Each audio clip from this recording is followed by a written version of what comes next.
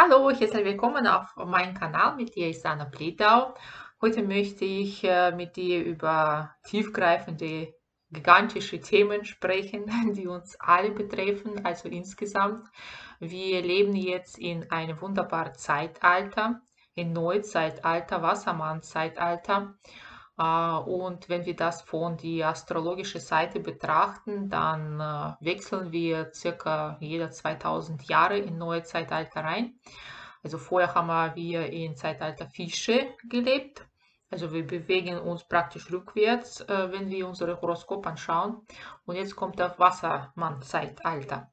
Ja, und Astrologen haben sogar genau Punkt bestimmt haben, wo das passiert ist, wann diese Zeitalter angefangen hat.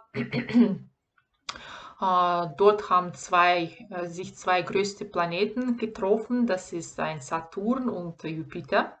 Und die haben sich da auch in Wassermann äh, Sternzeichen getroffen.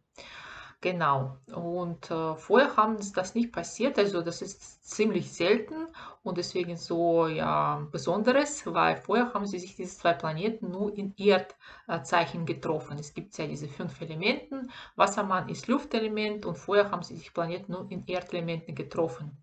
Und deswegen war ähm, Leben davor also wirklich äh, in Fischen, ganz, ganz anderes.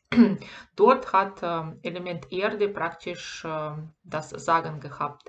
Und äh, Motto von diesem Zeit war, das, was ich besitze oder was ich habe, das bin ich. Also sehr materiell, sehr äh, konsumbezogen, äh, Ressourcen verbrauchen. Und alle die Menschen, die so gelebt haben, äh, werden jetzt im neuen Zeitalter sehr große Probleme haben, weil Luftelement ist komplette Gegenteil von Erde.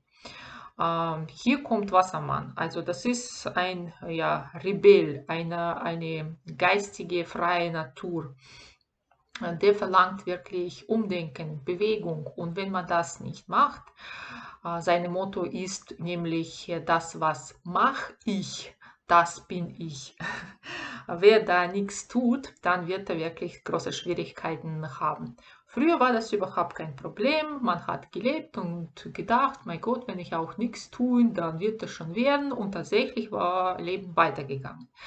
Äh, jetzt aber nicht mehr. Diese Zeiten sind vorbei, weil Luftelement sorgt für die Bewegung äh, und äh, Veränderungen. Der sorgt auch für gewisse Chaos. Der zerstört alles, was früher, wie gesagt, eine Rolle gespielt hat. Also alle materielle Dinge gehen dann verloren oder manche materielle Dinge gehen verloren. Das ist nicht nur Geld, das ist auch Immobilien, das ist auch Familie, das ist irgendwelche Dinge, an die man hängt und sozusagen, um uns einfach frei zu machen davon, damit wir verstehen, dass es nicht nur materielles wichtig ist. Und diejenigen, die vorher schon nichts gemacht haben, so gelebt, wie sie heute leben, die werden tatsächlich das jetzt extrem spüren. Diejenigen, die aber sich schon auch vorher mit spirituellen Sachen beschäftigt haben, die haben verstanden, dass es äh, nur die Taten zählen und nicht nur ja, dass du Informationen sammelst und nichts daraus machst oder überhaupt äh, nur daher vegetierst. Also die Menschen, die vorher schon was äh, für sich gemacht haben, sich weiterentwickeln versucht mindestens, die werden jetzt in diesem Zeitalter wirklich auf dem Pferd sein. Sie werden vorankommen und zwar mit einer ja, schwindelerregenden Geschwindigkeit. Und andere müssen schauen, dass sie überhaupt irgendwie dahinter kommen weil das ist sehr, schnellig, sehr schnelle Zeitalter, sehr schnelle Veränderungen, auch was jetzt die äh, Netzwerke eingeht, was jetzt technische Progress eingeht. Und zwar mm, wird hier sehr vieles in die Richtung äh, für die Menschen gemacht werden. Also die ganzen Erfindungen oder neuartige Sachen sollen tatsächlich daran denken, äh, darum sich bemühen, Menschen zu verbinden, Menschen zu stärken und nicht wie früher. Man hat irgendwas erfunden und äh, man hat gedacht, okay, man entlastet dadurch ein Mensch. Tatsächlich hat Mensch immer weniger Zeit. Wir haben ja so viel Technik jetzt um, um, um uns herum und trotzdem haben wir keine Zeit. Äh, wie haben Menschen früher gelebt? Die haben das alles nicht gehabt und trotzdem äh, haben trotzdem äh, gut funktionierende Familien gehabt, haben Tage oder Zeit für die Gespräche und so weiter. Sie haben sehr viel in Natur verbracht, haben sehr starke Verbindung zur Natur gehabt, zu den Elementen auch, die sie unterstützt haben, auch auf gesundheitliche Weise, Art und Weise. Ja, heutzutage ist das tatsächlich äh, alles sehr, sehr schwierig. Wir sind mit äh, Netzwerken fast mit der ganzen Welt verbunden und trotzdem sind wir sehr, sehr einsam. Ja, das ist ja die Paradox von dieser Zeit. Mhm. Dann haben wir äh, solche äh, Eigenschaften von dieser Zeit wie Informationen. Früher, damit man überhaupt an irgendwelche Informationen gekommen ist, äh, hat man einen wissenden Mensch gebraucht, ein Meister, eine, ja, eine Guru sozusagen. Und man hat wirklich sehr viele Sachen machen müssen, damit man überhaupt als Schule eingenommen werden könnte. Heutzutage brauchen wir einen Knopfdruck und kommen auch an die ganze Wissen heran. Also das ist der Internet. Das wurde übrigens schon früher beschrieben, also hm, von tausenden von Jahren wurde beschrieben, dass es kommt ein Zeitalter, wo man nur ein per Knopfdruck äh, Zugang zu gesamten Wissen bekommt. Und jetzt ist es soweit. Aber das bringt mit sich wirklich ein neues Problem, dass wir dann müssen in diesem Unmenge von Informationen sich zurechtfinden, ohne jegliche Unterstützung. Also es heißt, wir müssen in diesem Zeitalter unsere eigene Guru werden, unsere eigene Meister werden um die Informationen rauszufischen, die für uns wichtig, relevant sind und nicht uns in diese Dschungel zu verirren. Dafür brauchen wir aber sehr starke Intuition und sehr erhobene äh, Bewusstsein. Deswegen sage ich ja, die Menschen, die schon früher darum bemüht haben, werden tatsächlich jetzt sehr, sehr große Fortschritte machen. Alle anderen haben trotzdem noch eine Chance. Also es ist, wie gesagt, nicht zu spät wenn man etwas machen anfängt. Nochmal, was tue, das bin ich. Das ist das Motto. Es reicht nicht, dass du weißt, dass Rauchen schlecht ist. Es reicht nicht, dass du weißt, dass Schlafen äh, muss äh, bis 22 Uhr erfolgreich sein und nicht später. Es reicht nicht, äh, um zu wissen, was, welche Lebensmittel gesund und ungesund äh, sind äh, es muss umgesetzt werden. Alle diese Informationen, die du besitzt, die bedeuten gar nichts. Das ist einfach null, wenn du das nicht umsetzt. Und Gott sei Dank gibt es immer noch wissende Menschen, die sich mit diesen Themen schon sehr lange beschäftigen. Deswegen steht auch Wassermann für die Gemeinschaft. Hm, äh, such die Gemeinschaft, die dich inspiriert. Such die Menschen, die dich begeistern, die das schon geschafft haben, an was du noch träumst oder was du erst ausprobieren möchtest. Rede mit denen, schließ mit denen Freundschaften, kommuniziere, höre dir Vorträge, besuche die Seminaren und so weiter. Weil über das Klang von Stimme wird Wissen von denen auf dich übertragen. Es gibt ja zwei Arten von Lernen. Von unten heraus, wo du mühsam jahrelang versuchst, etwas selber auszugraben, was für dich gut oder schlecht ist. Und es gibt andere Art von Wissen von oben nach unten. Du bist leere Gefäß, du weißt nichts, aber dein Meister, deine eine Person, die das schon besitzt oder kennt oder kann, äh, allein durch das Kommunikation, allein durch das Klang von seiner Stimme überträgt seine Charaktereigenschaften, sein Wissen auf dich weiter. Das bringt natürlich wieder nächste Problem, dass wenn du dich mit äh, diesen Menschen überhaupt nicht äh, auskennst, einfach so irgendwelchen äh, Menschen zuhörst, dann ist das auch gefährlich, dass die dir negative Charaktereigenschaften übergehen. Deswegen informiere dich, ähm, informiere dich über die Menschen, frage, äh, nehme Kontakt auf, schau die Gemeinschaft an, kommuniziere erst und dann geht's los.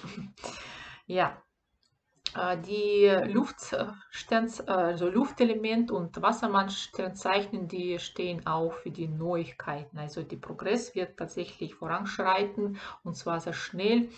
Und ähm, Anpassung, das ist jetzt A und O.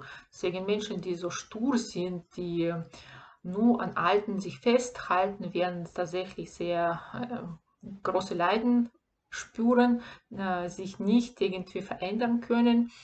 Ähm, und das bringt natürlich auch nicht nur psychische Beschwerden, sondern auch dann körperliche, weil Psychosomatik äh, ist ja, hat niemand das äh, gesagt, dass es nicht funktioniert.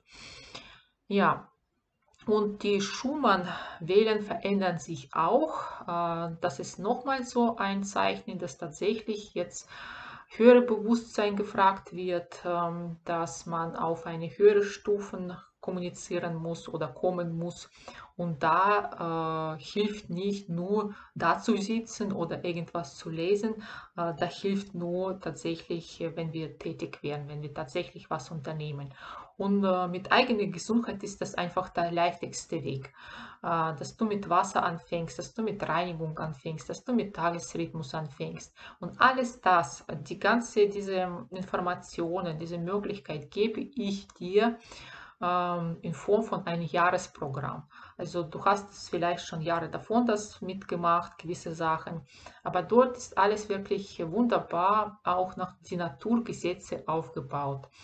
Ähm, dass wir praktisch eine Leberreinigung machen eine bestimmte Zeit oder Darmreinigung eine bestimmte Zeit, dass wir unseren Herzkreislauf unterstützen, da wo die am meisten Hilfe benötigt, dass wir auch ähm, jeder Hormonsystem nach und nach aufbauen, weil es bringt uns nicht nur an irgendwelche Herzen zu arbeiten und Herz-Kreislauf-Gefäße unterstützen, ähm, wenn sie leiden, weil die leiden ja äh, die haben einen Grund, um zu leiden. Und die liegt meistens nicht an die Gefäße. Das liegt woanders, an deiner Ernährung, an deiner Psyche und, und, und.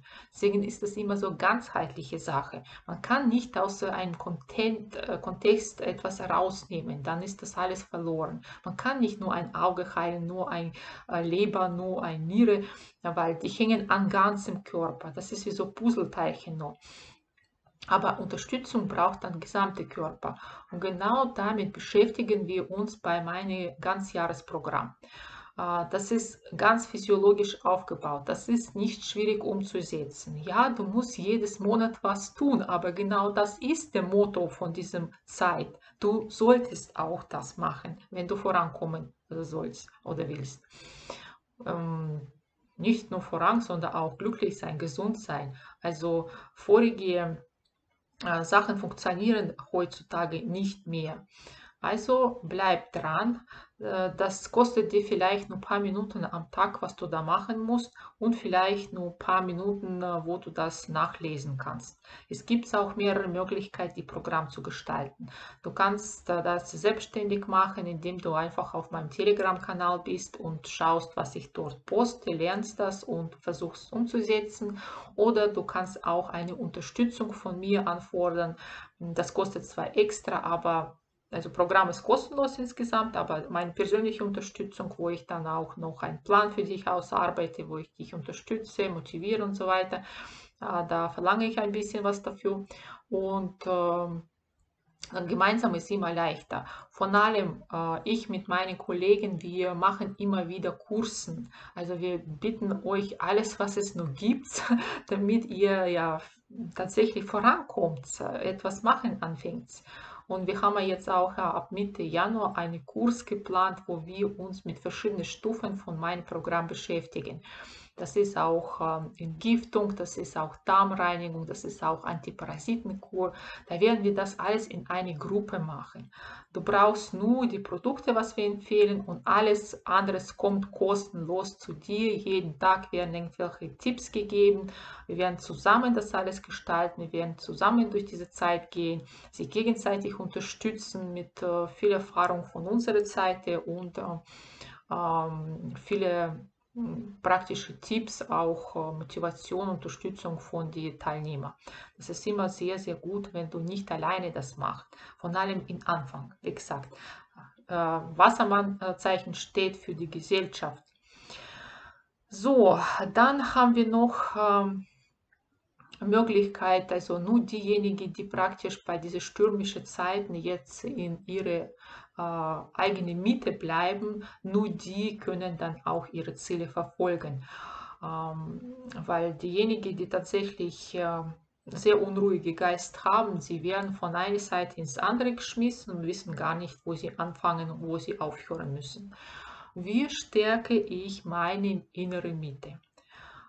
Ganz einfach, indem du deine Sinne, und du hast fünf davon, von außen nach innen nimmst, wo du fängst mit deinem Ich zu beschäftigen. Ähm, dafür braucht man Intuition und das kann man praktisch auch äh, stärken, indem man immer wieder das macht. Wenn ich jetzt vor 22 Uhr ins Bett gehe, wie fühle ich mich nächsten Tag? Wie ist meine Stimmung? Wie kommuniziere ich mit anderen Menschen? Wie viel Kraft und Energie ich habe? Und was passiert, wenn ich später ins Bett gehe? Was passiert, wenn ich diese Lebensmittel esse? Und was passiert, wenn ich diese Lebensmittel esse? Also sowas, solche einfache Dinge, wo wir praktisch ja auch an uns denken, weil wir sind immer an erster Stelle. Ähm, wenn wir glücklich und zufrieden sind, dann sind alle anderen auch. Aber es ist jetzt geht nicht um andere, sondern um unsere innere Mitte zu, stär zu stärken, damit wir durch diese stürmische Zeiten durchkommen. Diese Menschen sind äh, gleich zu erkennen. Sie sind immer ruhig und gelassen, egal was passiert. Die strahlen eine gewisse Sicherheit, gewisse äh, Liebe, Freundlichkeit aus, egal was passiert. Und das kann aber jeder lernen. Das geht, ähm, indem wir, wie gesagt, erst die Sinne von außen nach innen richten. Ähm, das geht äh, auch, äh, was wir anschauen. Es geht um das, was wir hören, was wir essen. Äh, unsere Tastsinn ist auch gefragt. Also Tastsinn ist verbunden mit Essen, mit sexueller Aktivität, wie ich das mache, wann das mache.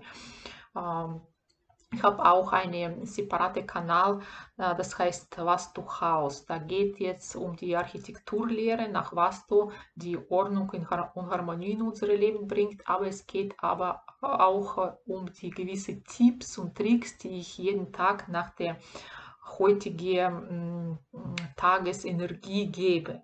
Also zum Beispiel heute ist gute Energie, um etwas äh, für sich zu machen, dann erkläre ich das und das und das kannst du heute tun. Oder heute ist gute Energie, etwas zu verkaufen, etwas zu erneuern, etwas wegzuschmeißen. Dann äh, sage ich auch, dass es heute gut ist. Und so können viele, viele Menschen davon profitieren, wenn die im Einklang mit Naturgesetzen und universelle Energie leben. Dann kostet ihnen das fast keine Kraft, weil alles das, was wir gegen die Natur machen, Dafür brauchen wir unsere eigene Kraft. Und da kommt das davon an, hast du das oder hast du das nicht. Hm. Ähm, und was jetzt die Wegschmeißen noch eingeht, das ist auch ähm, sehr interessante Sache, weil diese Zeit, wie gesagt, äh, wird von uns viel, viel abverlangen, indem er das uns einfach wegnimmt, wegreißt. Äh, und da kommen tatsächlich äh, dramatische Sachen zustande. Aus heiterem Himmel wird uns alles weggenommen. Das sehen wir jetzt schon mittlerweile. Äh, und äh, das kann man minimieren oder tatsächlich äh, gar vermeiden, indem man freiwillig was wegnimmt, weggibt oder indem man spendet oder Wohltätigkeit Sachen betreibt. Natürlich ist das noch interessant, die Horoskope anzuschauen, weil jeder Planet kann uns gewisse Hinweise liefern ähm, auch äh, aus Horoskop lese ich zum Beispiel deine Bestimmung heraus. Das biete ich auch als ein Gespräch an, wo ich erkläre, wo deine Bestimmung ist. Weil wenn Mensch sich gegen seine Bestimmung im Leben bewegt, dann wird er niemals etwas erreichen. Der versucht das, der versucht jenes und immer wieder hm, ja, fällt er runter sozusagen auf die Knie und weiß gar nicht mehr, was ist los. Er hat ja alles gegeben, er, hat ja, er war ja so fleißig, äh, aber trotzdem kommt es im Leben nicht voran. Also dieses Gespräch bitte ich jedem, wer das möchte. Das, äh, wie gesagt, äh, sehr, sehr tolle Erfahrung und äh, sehr tolle Unterstützung im Leben, dass du aus deinem Labyrinth endlich einen Weg rausfindest, die dich zum Erfolg führt. Und ähm, unsere innere Mitte zu stärken, hilft auch, unsere Aufgabe zu erledigen. Damit wir wissen, welche wir Aufgaben haben, müssen wir verstehen natürlich, was wir sind. Also Aufgaben kommen aus den Pflichten und es gibt unterschiedliche Pflichten, je nachdem, ob du ein Mann bist oder eine Frau bist. Weil Männer müssen nach Sonne und Mars handeln. Diese Aktivitäten, diese äh, aktive Kraft und Energie Äh, Frauen müssen wie Frau handeln, nach äh, Energie von äh, Mond und Venus, so sagen wir so in Astrologie zum Beispiel. Zärtlichkeit und Weiblichkeit und so weiter. Dann gibt es noch, äh, das ist jetzt, was äh, jetzt Kontakt zwischen die Partner eingeht. Dann gibt es zweiter Bereich, Kontakt zu Sozium. Wie verhalte ich mich dann?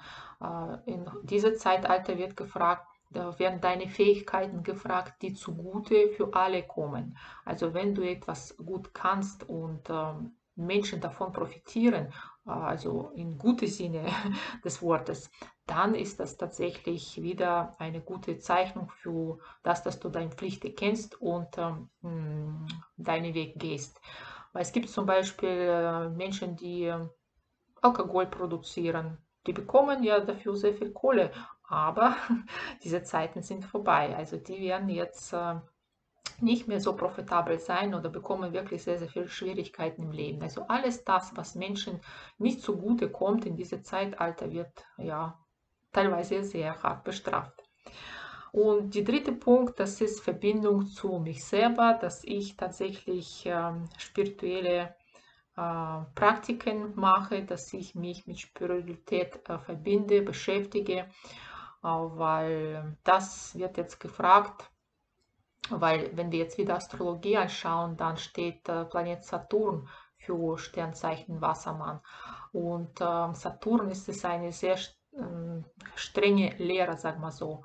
Vorher haben wir die Fische gehabt, da war äh, Jupiter als Hauptplanet und Jupiter ist es also gute Lehrer, sagen wir so, wie bei Polizisten gibt es böse und gute Polizist, hier gibt es böse und gute Lehrer.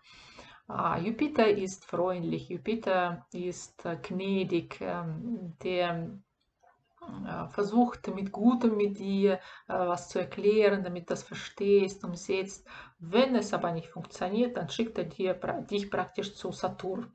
Und Saturn, der kennt keine Gnade. Und das ist das, was jetzt kommt. Wie gesagt, du kannst das freiwillig machen oder ja, okay. Jeder wird schon sehen, was er davon hat, sagen wir so. Aber warum soll man äh, auf diese Sachen warten? Warum, äh, wenn wir Möglichkeiten haben, was zu verändern?